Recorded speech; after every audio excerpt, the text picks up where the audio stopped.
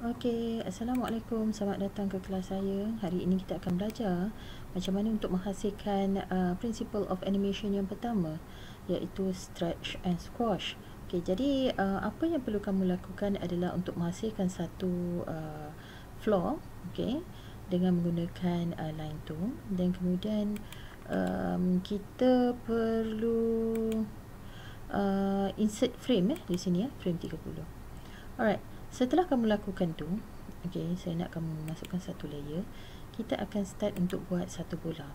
Okay, kita draw satu bola. Okay, tak payah sangat. Okay, kecil je. Okay, alright, convert to simple. Tekan F8. Make sure yang kamu ambil uh, grafik di sini. Okay, kemudiannya kita akan cuba pergi pada frame 15. Kita nak bola tu drop ke bawah eh. Okay, kita nak bola drop ke bawah. Okay, tapi sebelum tu, sebelum saya lupa, kita kena create motion twin dulu. Okay, kita kena create motion twin. Sekali lagi saya tunjuk. Uh, okay, right mouse click, create motion twin. Alright. So, bagi pada frame 15, kita akan uh, letakkan uh, objek di bawah. Alright, dan kita kembali kepada frame yang ke-30, kita nak dia kembali ke asal lah. Kedudukan asal, lebih kurang macam tu lah dia punya kedudukan. Alright.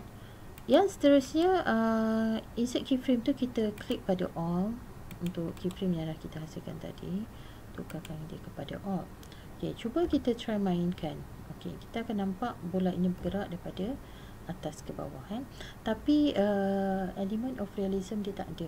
Okey, maksudnya kalau macam bola se sebiji bola bila dia uh, melantun ke atas lantai, dia akan terpenyek sedikit eh. Dia akan ada squash element dekat uh, squash element dekat situ. Okey. So apa yang perlu kita buat? Okey, dekat sini kita kena letakkan uh, satu uh, kita kena ubahkan sikit dia punya size. Okey, sebab bila dia nak menjunang ke bawah dia dah start untuk stretch. Okey, dan dia kena kurus sikit. Okey. Kemudian bila dia mentang ke lantai, dia kena squash. Okey, dan nipiskan uh, objek tersebut. Alright, kemudian kita nak bagi dia naik balik.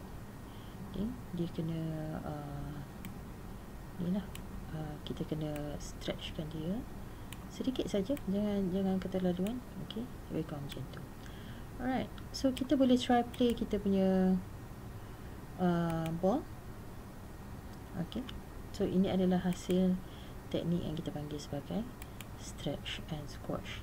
Okay. okay so kamu boleh nampak lah bola itu melantun semula. Alright. So ini adalah contoh yang pertama. Okay. Nanti kita akan continue dengan tutorial kita yang kedua. Dengan menggunakan teknik yang sama. Tapi bola tersebut akan melantun daripada kiri ke kanan. Okay. Take care guys. Assalamualaikum.